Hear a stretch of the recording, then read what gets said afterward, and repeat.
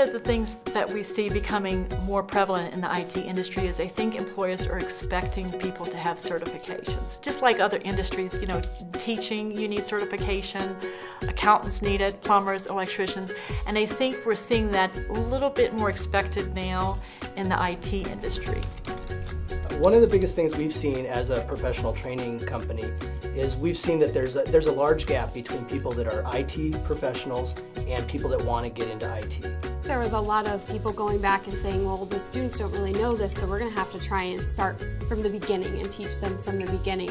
And I think MTA fills that gap and helps students with that foundation level knowledge to get them to where they need to be. There's a big gap from going nothing to an MCSE exam. You're going from 0 to 120, and then MTA helps guide you in that area, not only from a technology perspective and learning the tech that's underneath it, but also how to take the exams, how to prepare for an exam, how to prep for it. And uh, my only tip that I give, and I have to wait until there's nobody in the room, is I read the questions out loud to myself.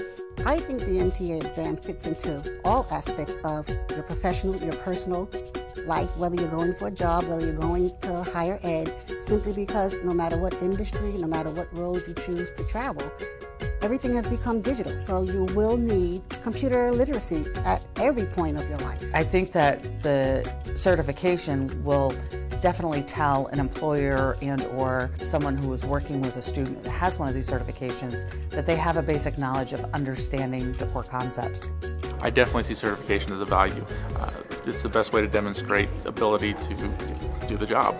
So I'm here to gain my Microsoft certifications because the job market kind of dictates the fact that you have to have Microsoft certifications. I think it's valuable for them to become certified or MTA trained associates uh, mainly for the fact that they will be able to use that on their resume. They'll be able to use it to increase their value in the marketplace, and it gives them a little bit of self-confidence that allows them to continue on their learning.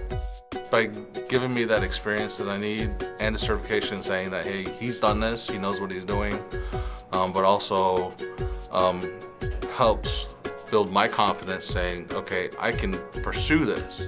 I see myself getting all of the MTA certifications to be a better member of my growing organizational team and intend to go on further beyond the MTA certifications. Because these tests are developed by industry experts that say, this is what I want you to know. When you come to work for me, this is what I'm going to expect for you to know.